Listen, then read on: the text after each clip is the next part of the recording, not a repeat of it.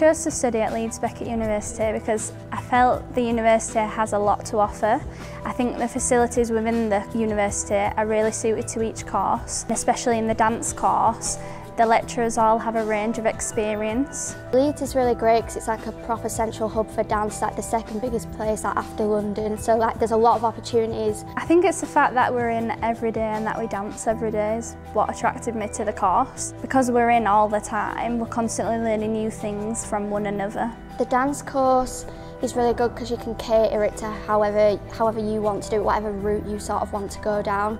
So if you want to be a performer, you can centre that in your own practice. If you want to be a teacher, you can centre that in your own practice. The thing I enjoy most about it is how much you actually learn within contemporary dance. We've gone into digital practices, cultural perspectives, dance within the industry and so much more.